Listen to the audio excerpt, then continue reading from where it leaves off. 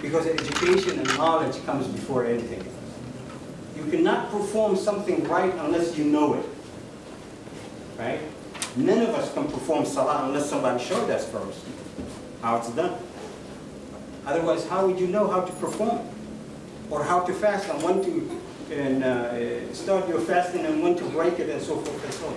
So knowledge comes before the action itself. That's how things are interdependent and we have to understand.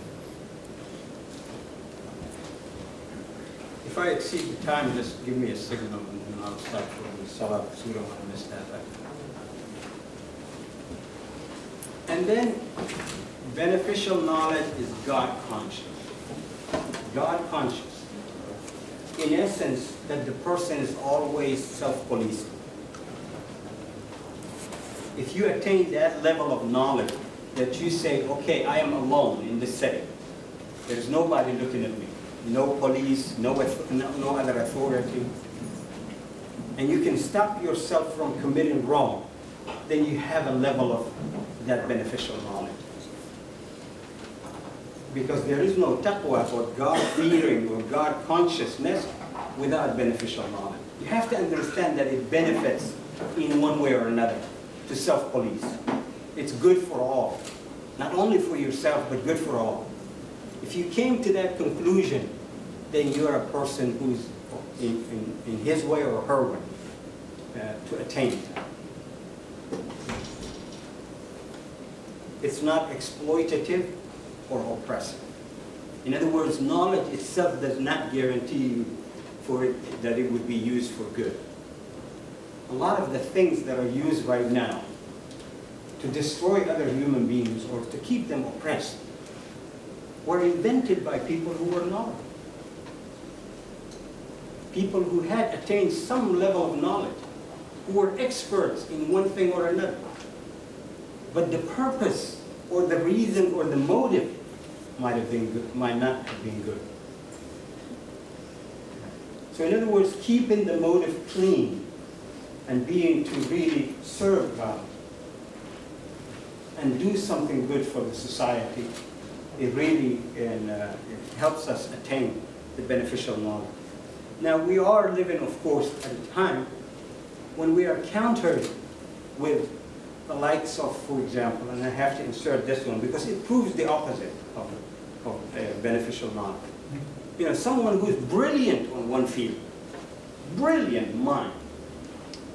When he discusses politics, is one of the best polemicists in this country, or perhaps in the world, arguably. I'll, I'll close with this. Still have some more to finish. Uh, perhaps the, one of the best uh, polemicists uh, in, in, in the world uh, Christopher Hitchens. How many of you know Christopher Hitchens? Yeah, quite a few. Okay. Among other things, what he has written is a book called God's Not Great. God is not great. And you can see where he's going with it. Christopher Hitchens is brilliant when it comes to discussing politics, history, literature. You know, one of the best people to have on your side take him out of that field, put him in the field of religion, he turns into an eighth grader. In his thinking, in his reason, in his logic, and nobody takes him to task. Because when you read the book, for example, and you say, subhanAllah, you know, if somebody is asking and questioning, how can God be so merciful if God allows diseases to be out there, for example, you know, or oppression to be out there? These are some of the questions that the atheists are nowadays really selling across campuses in, in, in various circles and so forth and so on. How can that God be merciful? SubhanAllah. You know, how can the human beings differentiate good from bad if they don't know what bad is, first of all? How can we appreciate this light if we don't know darkness, for example?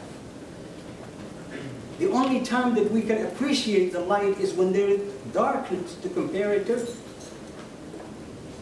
How can you appreciate health if there is no illness? Or wealth if there is no poverty? And so forth and so on. If everything did not have the opposite, how can you value that? How can you aspire for that? You can't. But here is brilliant mind on one area cannot really add one plus one equals two in this case. When it comes to religion, everybody goes blind. Because the learning, what he had learned, is not beneficial knowledge. What he had learned is he's trained to function very well in that circle. Take him out of that circle, put him in a different circle. You know, any little kid can criticize what he has written. And nobody takes him to task. He and others, and I'm just giving you his name as an example, not only him out there, but there are a lot of others like him. And nobody questions him and says, what have you read in the Quran? Have you read from A to Z? Are you an expert in this? How do you write on something that you have not even read? And that's where the problem is. People gain this knowledge without thinking, without having the right intention for it, and they produce something very, very destructive when it comes to religion. In their field, they're very good. They can function very well. And we have to be fair. He's good at what he does. Except when you put him discussing religion, all his biases, negativities, everything else shows up. And I'll stop here because I was signaled to stop. No, no, you can, No. I was just saying five minutes or Oh, more. five minutes? Till about it, that. Five minutes. Okay, I'll close with this story then, because since they said that we are going to have the question and answer afterwards. Sayyidina Musa, or Moses, he was one of the prophets that asked oftentimes about knowledge. He even asked, he was Kaleemullah, he spoke to Allah subhanahu wa ta'ala, all the three in uh, religions of the Abrahamic religions believe the same thing, right? So he spoke to Allah. And then he would ask, oh Allah, have you created a person who's more knowledgeable than I? And we know the whole story. I mean, if you read, and, uh, and all of you read, read it, and today being Jummah, most of you have, I'm sure, Surah Al-Kahf. And uh, an example of that is, is, is found in that particular chapter, the cave chapter. But in this particular narration, the Creator God tells Moses, I mean, it's not the quality, I mean, it's not the quantity that matters in knowledge, but the quality. Something that's very consistent in the Prophet alayhi salatu wasalam when he was saying, بَلَّغُوا عَنِّي وَلَوْ آيَةً Spread about me or tell others about me, even if you have to just use one ayah, one verse in the Quran, just deliver that. Because that is beneficial knowledge and it will make a change in people. If they learn that one thing and if they focus on it, it will change their lives. Gradually, of course, and put them through that process. So going back to Moses, Allah subhanahu wa ta'ala tells, oh Moses, there are five principles. Five principles, if you were to follow, then knowledge benefits you. If you don't follow those five principles, it doesn't matter how much knowledge you gain, it's not going to help you anymore. So what are those five principles? And this is where we really need to pay attention. This is very critical. The first principle, Allah says, don't fear anyone else's authority so long as my authority exists. And my authority exists, it never vanishes. Why is that important?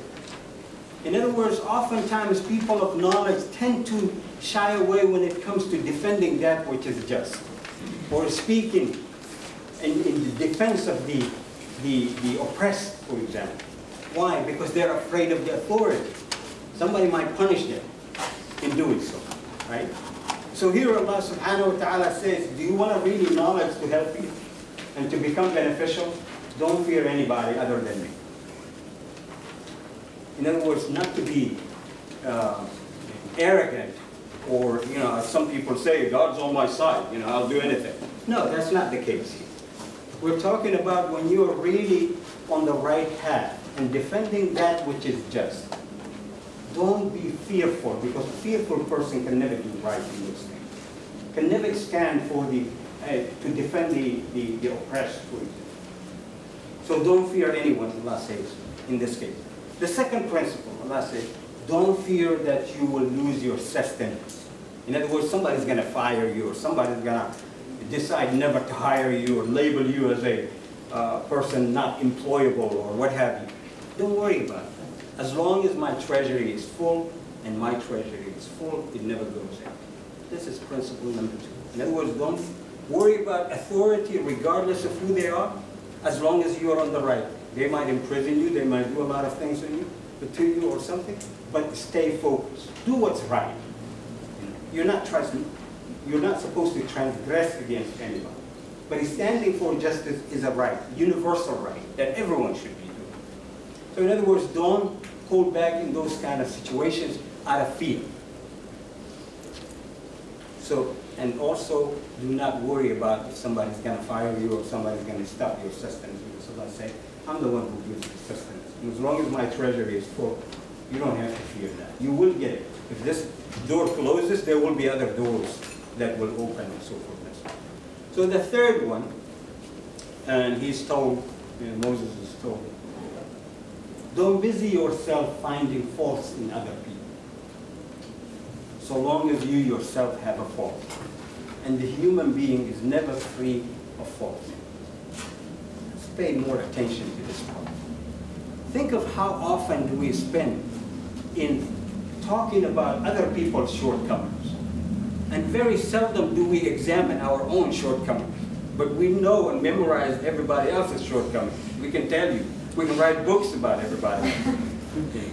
But in our case, we don't. We don't look at ourselves. And beneficial knowledge, the center of it, by the way, is introspection. Reflection and introspection, the two driving type, uh, wheels that it has. Reflection and introspection. You reflect on the things around you, what caused them, why do they exist, why are we here, and so forth and so on. And then introspection in the sense that you examine yourself. You put yourself to test. And you ask yourself, am I doing the right thing? And so forth. So, the third we cover, right? So far the third question? Yeah? Yeah?